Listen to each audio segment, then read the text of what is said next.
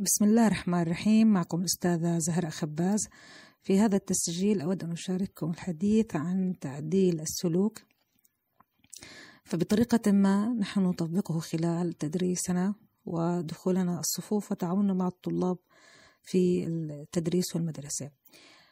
مرة شاهدت فيديو أو عفوا برنامج كان يعرض فيه عائلة استعانت بأخصائي أطفال لتعديل بعض السلوكات في ابنتهم.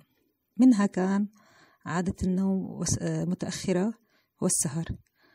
فمن المقاطع أو من المشاهد التي مرت في تعديل هذا الأمر السهر والتأخر في النوم آه، كانت الطفلة كلما وضع أهلها في السرير يعني انتهى النهار وقضوا أنشطتهم وصار وقت نوم الطفلة. وضعوها في غرفتها على أساس أن تنام وأطفئت الأنوار. كانت طبعا هناك كاميرا للمتابعة بين لمشاهدة الطفلة ماذا تفعل ولدينا أيضا تواصل من خلال السماعات بين أخصائي الطفل والأهل. فأخصائية الطفل لم تكن هي في الواجهة وإنما يوجد تواصل بدون أن تشاهدها الطفلة بين الأهل وبينها لتقدم لهم الحل من خلال مشاهدتها في الكاميرا سلوكات الطفلة المهم فكانت الطفلة هم عندما وضعوا الطفلة بالغرفة يراقبونها فعندما يشاهدون في الكاميرا أنها قامت من سريرها كان الأب تخبره وتقول له الأخصائية أن يعود يدخل الغرفة ويعيدها إلى السرير.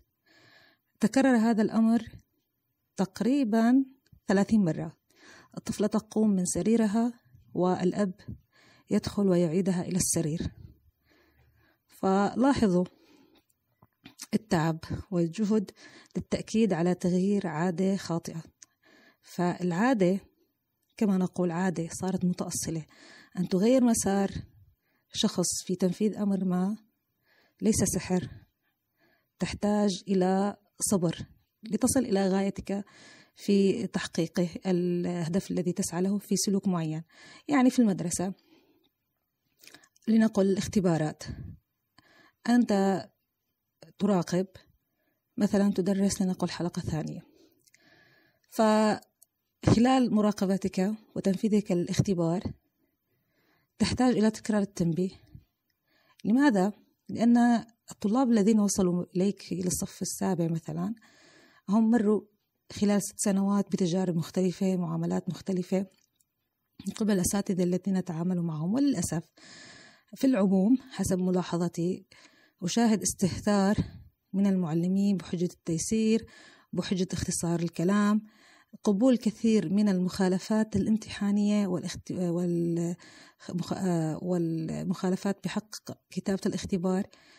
وعلى أساس أنهم ييسروا الأمر ويراعوا الظروف وغير ذلك وأنا أجدها صراحة هي أعذار وما يقومون به هو لإراحة نفسهم واقتصار الكلام وعلى أساس ألا يخوضوا في نقاشات مع سواء الطالب أو أهله. فيقبلون الطالب وحتى لو كان مخالفا في أمر يخص الامتحان ويضعون له العلامة ويصححون ورقته. مثلا نجد نجد استهتار في استخدام القلم الأزرق الناشف في الحل فصرت تشاهد حتى في الحلقة الثانية آه، من يحل بالأسود من يحل بالرصاص مع العلم أنه الاختبارات حتى في الصف الأول يجب أن تكون بالأزرق الناشف ولكن يراعى طالب الصف الأول ويؤخذ بحله بالرصاص. عندك مثلا خلال اختبار يجب ألا يكون هناك أي حديث ولا أي استفسار يعني أن يسأل الطالب عن ورقة الأسئلة. المفروض لا يحق له سؤال أي شيء إلا إذا كان لديك خطأ في الطباعة. فالاختبار هو المرحلة التي يجب أن يحل فيها الطالب لا أن يسأل, يسأل المعلم. يعني سؤال المعلم والحديث معه هو خلال الحصص الدرسية. أما الاختبار فهو الوقت الهادئ في القاعة الذي ينتبه ويركز فيه المتعلم مع ورقته ولا يسأل إلا إذا كان هناك مشكلة في السؤال أو خطأ في الطباعة. يعني مثلا أنا أذكر في امتحان البكالوريا آه، كان هناك مشكلة في السؤال آه، لا يمكن حله.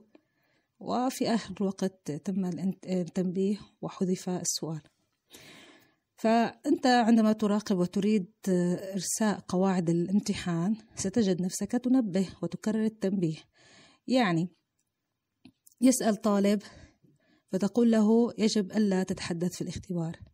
لا يكفي هذا التنبيه. ستجد نفسك تعيده لزميله الذي أيضا يتحدث يقول مثلا الأسئلة سهلة. هذه التعليقات أيضا. آه، خلصت. فأنت تحاول أن تعيده إلى قواعد الاختبار. تقول له لا تتحدث.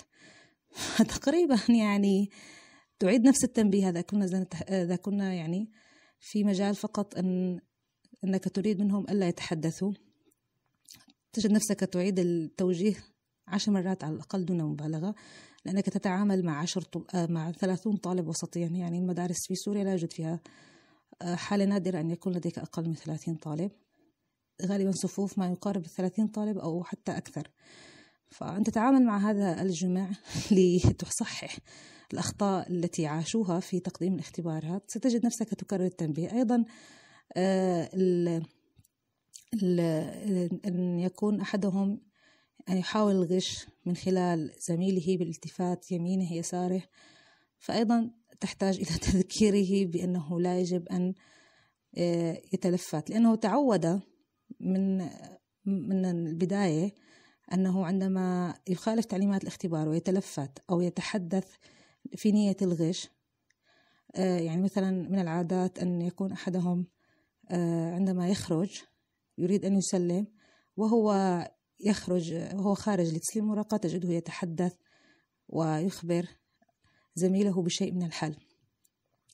فأنت تجد نفسك تنبه لا تستطيع أن تطبق قواعد الغش لأن هذه المخالفات آه، الأسئلة آه، في القاعة الامتحانية آه، الحديث بأمور لا علاقة لها بالاختبار محاولة الغش كلها تعتبر ضمن تشويش الاختبار وتعطيله ومحاولات الغش فكلها عليها مخالفة. فلأنه تعود بتجاوزه قواعد الاختبار هذا إذا كان أحدهم أخبره ما هي قواعد الاختبار آه، تعود أنه دائما فقط ينبه شفهيا لا يوجد أي إجراء فعلي يطبق عليه. فبالتالي هو يعلم أنك ستكتفي أيضا فقط بتنبيهه. وإذا حدث وحاولت أن تطبق قواعد الاختبار آه، يعني لن تجد فقط الطالب هو من يناقشك في الأمر وإنما زملاؤه أيضا. آه، وأيضا ربما زملائك أنت في العمل. فالأمور متعقدة وكأنك تسعى إلى إرساء فكر صحيح لدى الطالب وزملائه وحتى حتى أيضا زملائك يعني في العمل. فبالتالي لا تعجب عندما تكرر آه، أمر معين أكثر من مرة خلال حصة واحدة لأنك تحاول التوجيه لأمر اعتادوا فعله خطأ. وأنت لا تتعامل مع شخص. يعني لاحظ أنا ضربت مثال في بداية التسجيل تعامل مع طفلة كيف كان صعبا واحتاج تكرار التأكيد على الفعل الصحيح تقريبا ثلاثين مرة. فأنت هنا تحاول التأكيد على فعل صحيح أمام جم أو لدى آه، مجموعة من الطلاب وليس واحد. فكان الله في عوننا وألهمنا الصبر.